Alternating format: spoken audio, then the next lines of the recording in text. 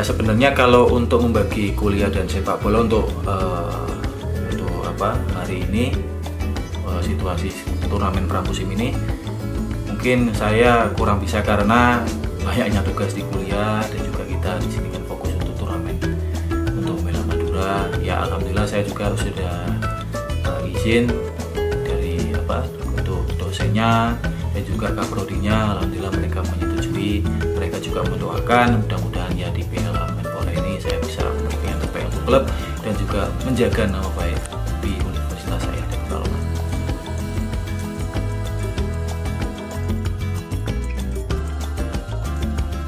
Itu masalahnya. Kemarin masa apa masa-masa pandemi saya betul-betul fokus di kuliah, ya kan. Dan juga kita sempat berlatih kan, ya walaupun tidak ada tujuan karena Liga 2020 kemarin di stop. Namun sekarang uh, ya agak rumit lah menurut saya ya karena belum bisa membagi waktu antara kuliah dan juga uh, latihan. Belum bisa dan juga saya kan punya keluarga yang harus saya apa tangani harus saya perhatikan dan juga orang tua pastinya karena saya juga tulang punggung untuk keluarga. Ya mudah-mudahan ada jalan keluarnya lah untuk saya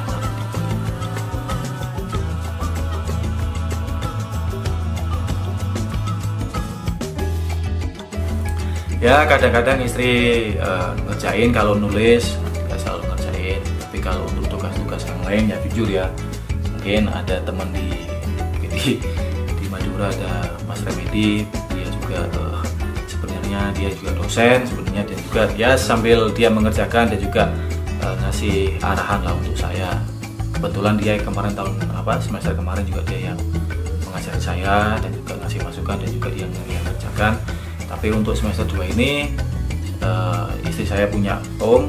Ya om saya yang apa om istri dari dari istri saya yang mencari tapi pernah sempat kemarin ujian akhir saya percayakan sama istri saya karena awal itu kan memang istri saya dulu kan mantan uh, pramugari dulu sempat. Jadi kan tahu lah bahasa Inggris kan. Udahlah saya kasih bahasa Inggris tugas bahasa Inggris ke dia UTS eh apa ujian akhir sekolah. Aduh nilainya mas jeblok mas habis itu ya udahlah nggak apa-apa. Alhamdulillah ya ada remedi juga bisa ngerjain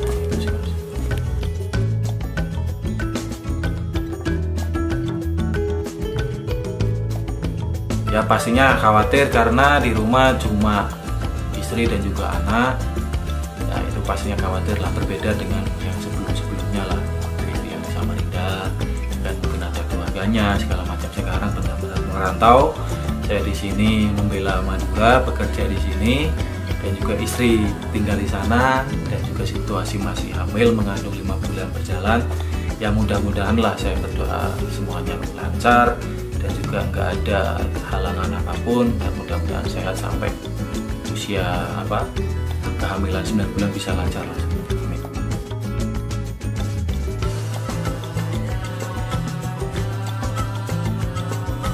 ya bukan disuruh pulang sih tapi tanya liburnya kapan gitu.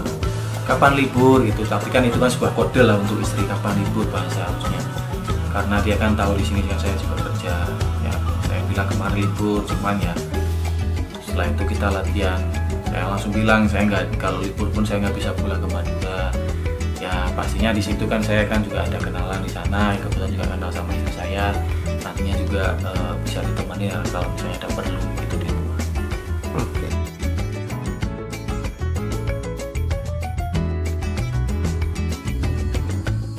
Kalau ngidam sebenarnya sih istri nggak ada sih, ngidamnya cuma satu, nomor rekening ATM saldo sudah gitu ya wajar lah itulah nggak masalah. Itu kan sebagai kita sebagai suami juga. Itu sebagai hak kewajiban lah. Sebagai suami untuk istri. Alhamdulillah istri sih nggak rewel banget sih hamil. Makanya banyak teman-teman yang punya istri yang hamil itu ngidamnya macam-macam sampai tengah malam carikan ini carikan itu. Tapi alhamdulillah istri sih nggak pernah rewel sih alhamdulillah.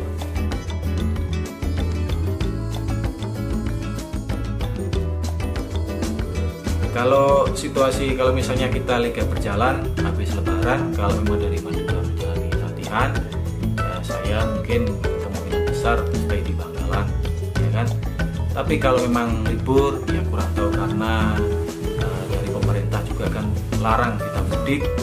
Ya kita lihat nantilah. Kalau memang nggak boleh ya kita mau nggak mau harus ikuti pemerintah kalau memang ada peluang balik ya saya ingin balik. Karena juga saya kangen dengan orang tua saya.